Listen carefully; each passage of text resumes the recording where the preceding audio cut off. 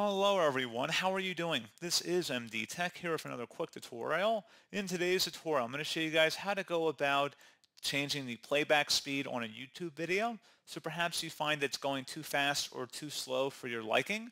In today's tutorial, I'm going to show you guys how to adjust that. And without further ado, let's go ahead and jump right into it. So all you have to do is select the little gear icon that says settings when you hover over it, then the uh, media control settings for the video and select says playback speed. Click in here and you can adjust anything between one quarter of the normal speed up to two times speed.